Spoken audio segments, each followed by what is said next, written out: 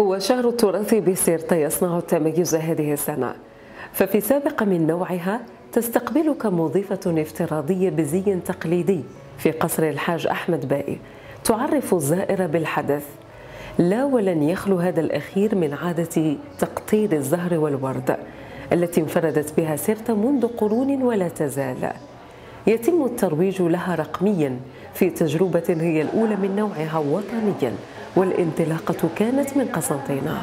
آه، بقسنطينة سطر المتحف آه، خلال فعاليات شهر التراث هذه السنة الذي جاء تحت شعار آه، التراث الثقافي الجزائري وامتداداته الإفريقية. عدة نشاطات امتدت من 18 أفريل إلى غاية يومنا هذا. بين التقنيات يعني المميز هذه السنة هي استعمال تقنية الهولوجرام يعني هي تقنية حديثة استعملناها. الهدف منها هي تثمين التراث الثقافي يعني عرض التراث الثقافي بتقنية حديثة لتثمينه وجذب أكبر عدد من الزوار ولفت انتباه الزوار خلال هذه التقنية الحديثة التي تتمثل في مضيفة مضيفة باللباس التقليدي. آه، يعني تتحدث عن شعار شهر التراث عن ترشد آه، الزوار إلى آه، خلال هذه التظاهرة. كاين تقنيات أخرى على يساري وعلى يميني اللي هي الهولوجرام الهرمي. يعني اللي استعملنا فيه عدة أثرية بتقنية ثلاثي الأبعاد. أشقاء عرب وسياح أجانب من مختلف الدول أعجبوا بالتقنية الرقمية وتمنوا تعميمها بعديد القطاعات. الكثير من زوار يقبلون على هذه القاعة خاصة خاصة أنه يعني هذه حديثة حاجة جديدة يشوفوها آه، ما شافوهاش آه، قبل ذلك وهي آه، يعني تقنية كما المضيفة باللباس التقليدي لأول مرة تستعمل في الجزائر. قام بدوره في تحديث بعض الأشياء التي كانت تقليدية من ضمنها العرض البروغرامي الهرمي الذي يكون على اليمين الآن يعرض ما في أهم من الحضارة الجزائرية من التحف والصور التي تعرض أمام يميني الآن.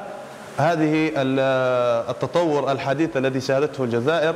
نسأل الله عز وجل أن يبارك لهم فيه ونسأل الله عز وجل أن تكون قدوة لكل الدول العربية. If you approach Constantine already, it's fascinating because it's a mount with houses. Exactly. And it's you a big rock. and you see the minaret and the rock and everything. So you come here impressed, but at the same time as a small man in a big city. Exactly. And we enjoyed it as small people so much being in this beautiful city of so many hundred years of culture, of beauty, of rose water, and even of oranges. سياح من مختلف الولايات زاروا قصر الحاج أحمد باي تعلقوا بتراث قسنطين الباقي بتفاصيله رغم الزمن والعصرنة اليوم جينا من ولاية برج بعراريج زيارة لولاية قسنطينة آه، حيث قمنا بزيارة قصر باي آه، قصر أحمد باي آه، ووجدنا هنا عادة تقليدية جميلة لا توجد في العديد من الولايات إلا في ولاية قسنطينة اللي هي تقطير الورد عن طريق القطار. آه، ولم نجد هذه التقنية في أي ولاية من الولايات الأخرى. كانت جد جد ممتعة. و شفتوا في قصر أحمد بن اكتشفنا قداش من حاجة. آه، غرف آه، تاع أولاد قص آه، أحمد باي كيفية تقطير الماء والماء الزهر والماء الورد. حاجة مميزة هنا أنه لا توجد مرشدة حقيقية ولكن توجد مرشدة افتراضية.